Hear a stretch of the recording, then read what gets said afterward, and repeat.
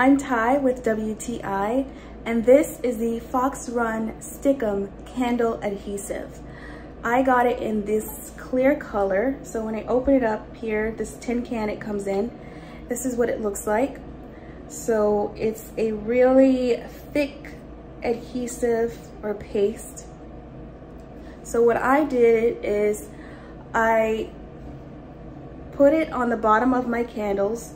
So I just kind of moved my candles around in there so it could gather some of that adhesive. And then